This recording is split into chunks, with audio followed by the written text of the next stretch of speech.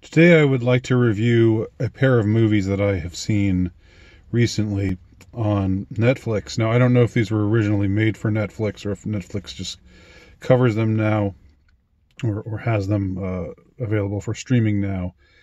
But both of these features uh, uh, um, are entitled Creep.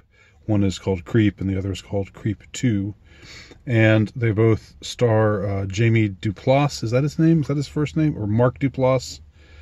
Um, uh, this uh, Duplass is um, somebody who's kind of kind of resembles Jim from The Office, uh, and he's an actor who's been in a lot of um, what a few years ago were called mumblecore movies, which I actually kind of liked and appreciated the idea of.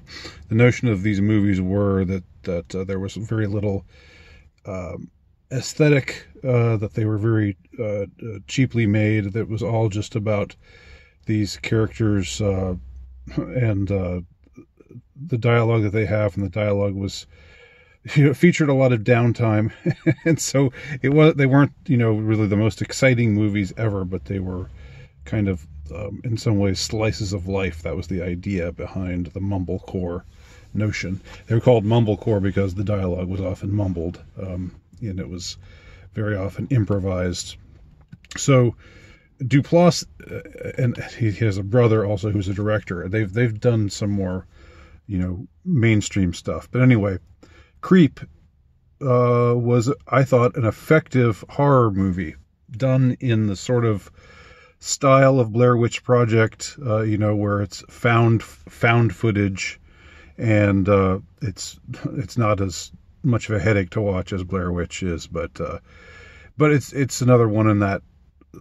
I guess there have been many many horror films now that have been done in that particular style, where it's supposed to be somebody you know doing amateur filmmaking of of some events, uh, and um, and you know we're supposedly seeing what's all happening to him uh, uh, while he's filming himself with some low budget camera or, or camera phone. Um, so Creep is is about a guy uh, who is uh, working as a as a cameraman or a photographer uh, for events, and he gets invited, gets a mysterious invitation from somebody to uh, come to his mountain retreat and film him for a day and uh, that this guy turns out to be uh, uh, Duplass, uh, and Duplass is this uh, playing this this man who says that he's about to die and uh, he's got a couple months to live, and he just wants to record his final thoughts for his son.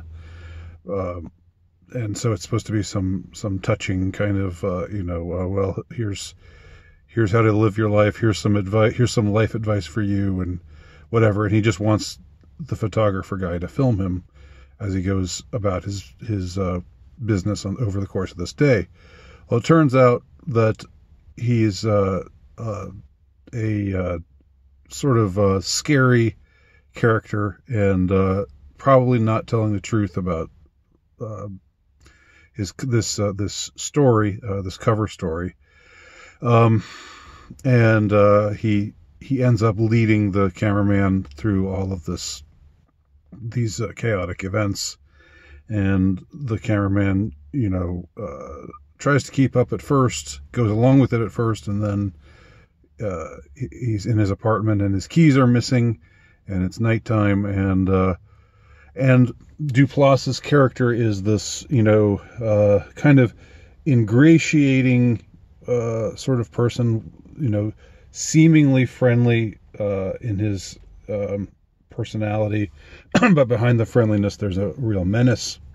Um, and it turns out that, of course, he's he's a psychopath, and uh, this is how he finds his victims is through this uh, this this routine of putting these ads uh, out uh, on Craigslist or whatever, uh, and getting people to, to come and film him. So that was Creep that was the first Creep. I thought it was uh, an effective horror film, well acted, well made. Then there was Creep 2, and I want to report what happened as I was watching Creep 2. Creep 2 uh, uh, was filmed three years later. The first Creep was in filmed in 2014. The the second was uh, or was released in 2014. The second was released in 2017. This time around, uh, the uh, the photographer being enticed, or the photographer or videographer being enticed to, to come out and uh, film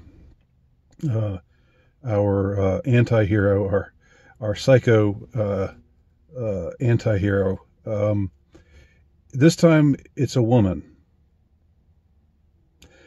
And immediately, like 15 minutes in, I was thinking, nothing's going to happen to her.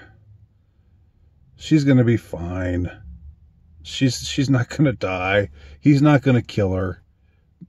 They're not going to let that happen because if they made a movie where a guy enticed a woman to come over uh, and film him, and then ended up uh, murdering her, that would be called misogynistic.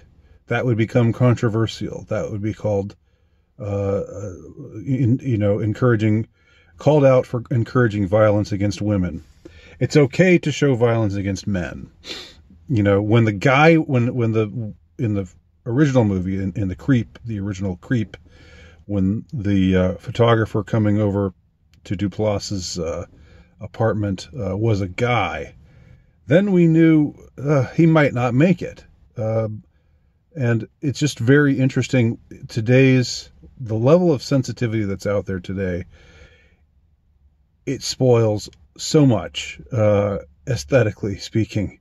Um, it spoils so much, um, you know, when it comes to storytelling, what we're allowed to, to stories we're allowed to tell, versus the stories that you know if we tell them you know the way that uh, maybe they ought to be told we will uh, end up uh, getting in trouble with certain special interest groups.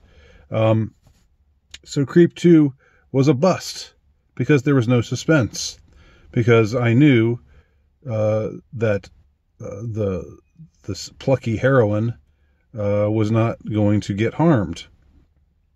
And i was right.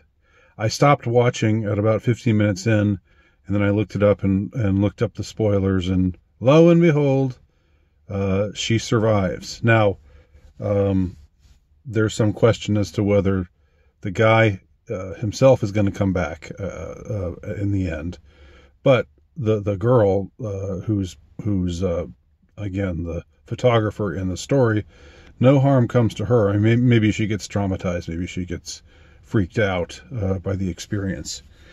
But uh, she's plucky and she fights her. She fights uh, fights him off and and uh, and lives because she's a strong, independent woman who don't need no man. I mean, uh, if if again the next if they make Creep three and it's a guy again, we'll know he's gone. He's a goner. But if they make Creep three and it's a girl again, then again there'll be no suspense. I mean, I just think this is all just seriously balmy. It's bollocks. It's it's stupid. It's lame. Um, and uh, I'm going to be commenting a bit more about patterns that I see in media because I, you know, I'm still still a watcher of movies, a still appreciator of the uh, the filmic genre. Um, but but um, you, you see these little you see these things creep in that get in the way of of storytelling that get in the way of you know satisfying storytelling where there's honest and real suspense. So uh, wanted to comment on that. Uh, and if you have seen creep and and or creep 2 let me know what you think below. Um, thanks for watching. My name's Andy Nowicki. You can check out my work at altrightnovelist.com